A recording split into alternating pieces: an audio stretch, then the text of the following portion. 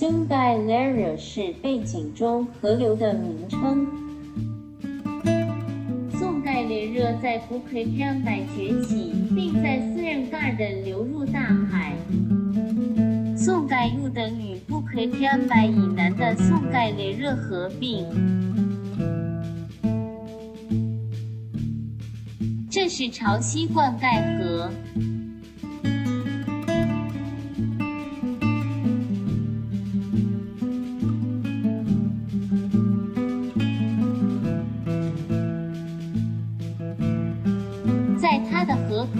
它容纳着傍站槟城的渔民船。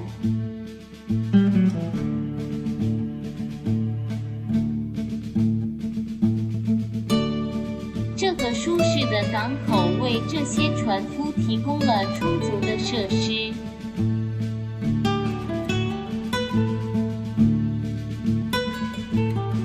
有修理他们的船和网的地方，有足够的蚊帐。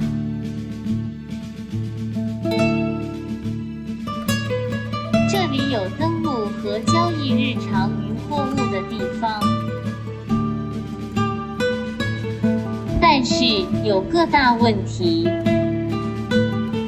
在那里形成了一个巨大的沙洲，潮水和富沙水汇合处。在满月或新月的日子里，河口被退潮时的沙洲阻挡。在这些浪潮中，船夫们不得不搬进或搬出他们的船。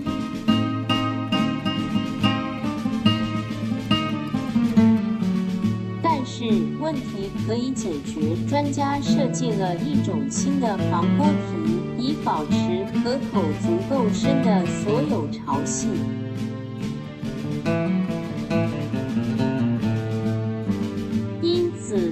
顾问的指导下，承包商开始建造，并建造了第一个防波堤。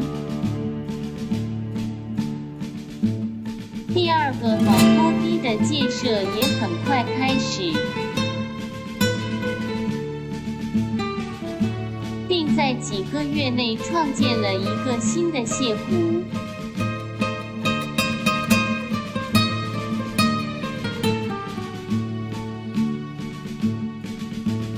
但是有问题，沙洲仍然在那里，仍然阻塞河口。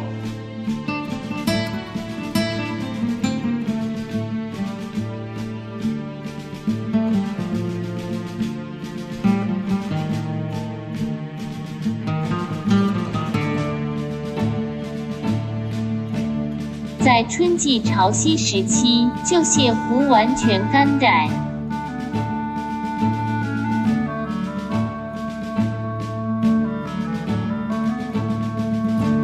欧山畔前面的新泻湖已经淤积，不久后便与另一个泻湖处于相同状态。旧国际学校背后的沙丘原定于二零一九年九月拆除，但仍在那。曾几何时，这里有大海，这是进步吗？